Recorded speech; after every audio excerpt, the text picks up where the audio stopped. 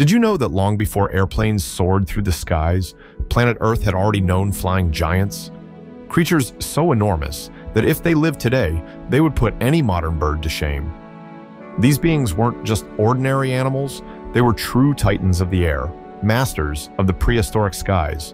But just how big were they? In this video, we'll explore the five most colossal flying creatures that ever existed on our planet. So get ready, we're traveling millions of years into the past to uncover these majestic creatures that once ruled the prehistoric skies. Number 5. Istiodactylus.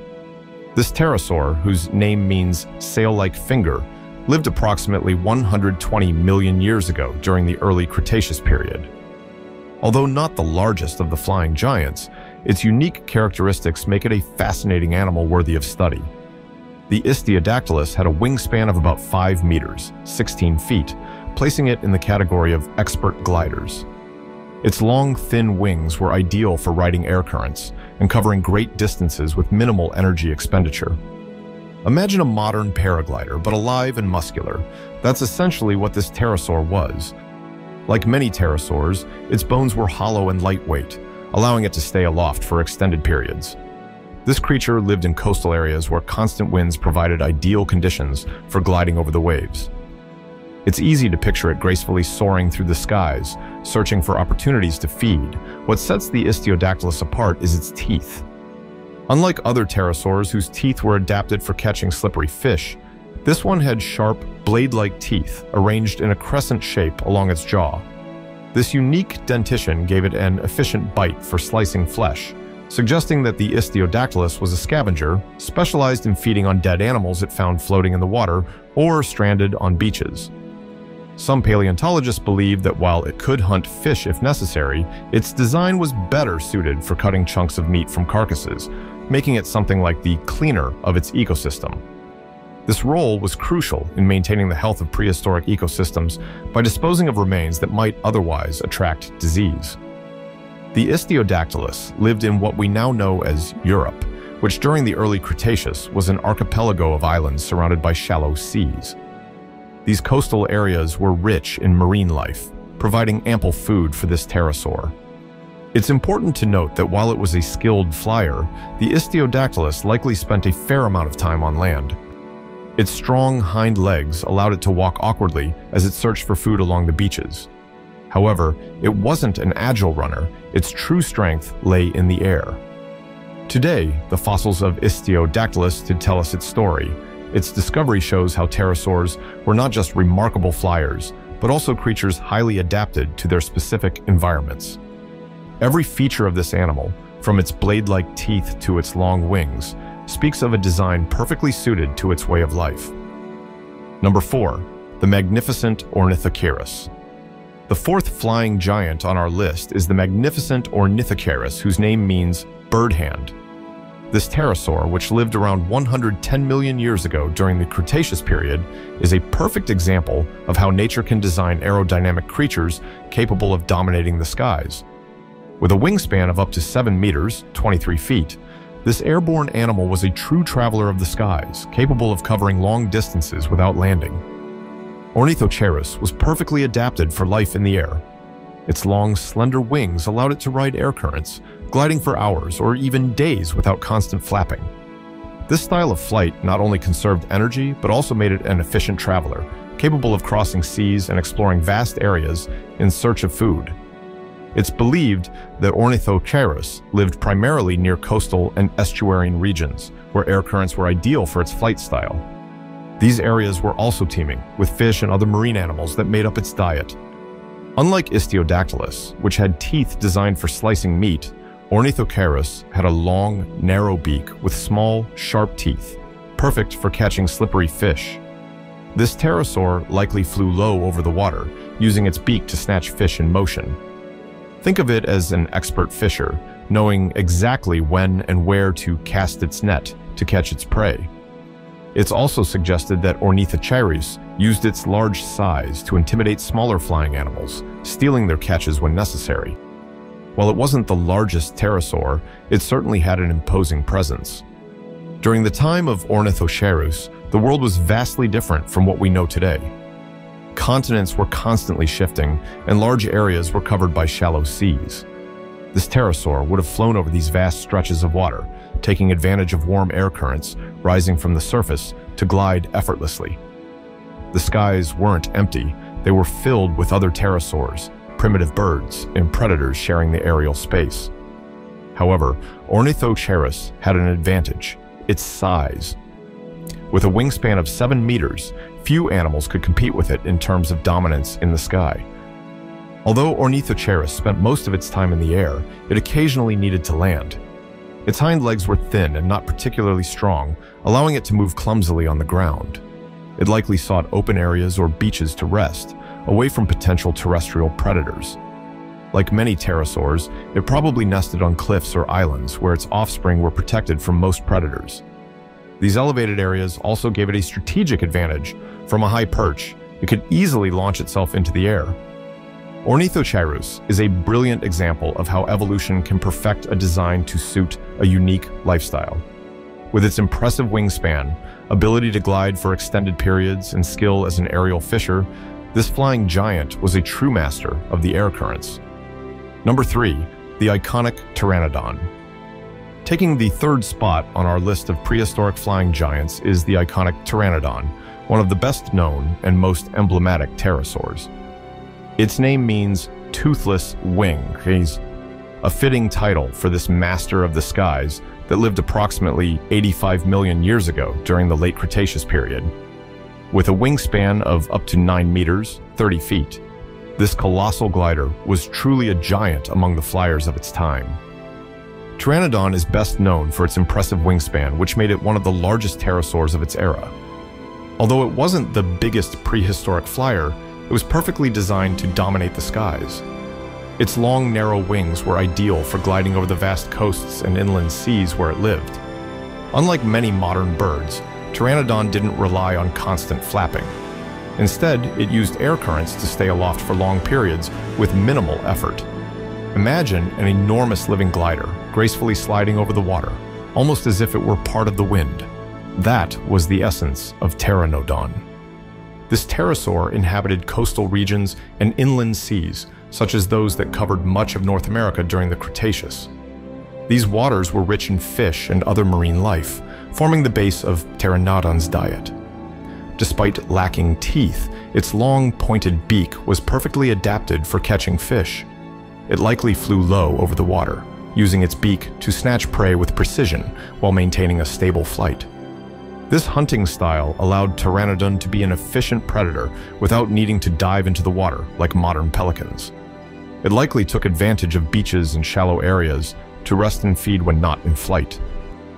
One of the most striking features of Pteranodon is its elongated pointed crest extending from the back of its skull. The size and shape of this crest varied between individuals, and paleontologists believe it served multiple purposes, Firstly, the crest may have acted as a counterbalance to its long beak, helping maintain a stable center of gravity during flight. Alternatively, it may have played a role in courtship and communication, with males using larger, more prominent crests to attract females, similar to how peacocks display their feathers today. While its exact function remains uncertain, the crest undoubtedly made Pteranodon even more impressive and unique. Pteranodon's body was small compared to its enormous wings, a feature that made it extremely efficient in the air. Its hollow bones were incredibly lightweight, yet strong enough to withstand the stresses of flight. These adaptations not only allowed it to remain airborne for extended periods, but also enabled it to take off from land or water surfaces. On land, Pteranodon likely moved awkwardly, using its wings for support while walking. Although it wasn't an agile runner, its ability to take off quickly provided an advantage when escaping predators or searching for food. Moreover, Pteranodon demonstrates how nature can create designs perfectly suited for specific purposes. Every detail of its body, from its lightweight bones to its striking crest, was optimized for life in the air. Pteranodon serves as a reminder that life in the past was just as diverse and astonishing as it is today. This colossal navigator not only ruled the skies, but also played a crucial role in its ecosystem as a predator and competitor. Number 2. The mighty Hatzegopteryx. Taking the second spot on our list of winged giants is a true colossus of the skies, Hatzegopteryx. This pterosaur, whose name means wing from Hatzeg, in honor of the region where its remains were discovered, lived around 70 million years ago during the late Cretaceous. With a wingspan of nearly 11 meters, 36 feet, this titan not only dominated the skies, but also played an imposing role on land. Hatzegopteryx belongs to a group of pterosaurs known as Azhdarchids, famous for being some of the largest flyers to ever exist. What truly sets Hatzegopteryx apart, however, isn't just its size, it's its robust build. While other large pterosaurs were slender and specialized for long-distance flight, Hatzegopteryx had a much stronger, more muscular body. Its neck, in particular, was extraordinarily thick and short for a pterosaur of its size, allowing it to withstand significant stresses. This robustness likely enabled it to hunt large prey on land, an uncommon trait for pterosaurs. In essence, Hatzegopteryx wasn't just an incredible flyer, but also a formidable terrestrial predator. With a wingspan of almost 11 meters, Hatzegopteryx was an imposing presence in the sky. Its size gave it several advantages, such as the ability to glide for extended periods without expending much energy and the capability to cover vast areas in search of food. However, its massive size also posed challenges. For example, takeoff was a complex task for such a large animal. Paleontologists believe that Hatzegopteryx used a method known as quadrupedal launch, where it propelled itself into the air using its wings and front limbs, much like a giant bat. Once airborne, its enormous wingspan and lightweight, hollow bones allowed it to fly with relative ease. Unlike other pterosaurs that spent most of their time in the air or near water, Hatzegopteryx appears to have been both a flyer and a terrestrial hunter. This dual role was largely influenced by its habitat. Its fossils were discovered in what is now Romania, specifically in a region called the Hatzeg Island. During the late Cretaceous, this island was isolated from the rest of Europe, creating a unique ecosystem where many animals were smaller due to limited resources, a phenomenon known as island dwarfism. In this environment, Hatzegopteryx was, quite literally, the king.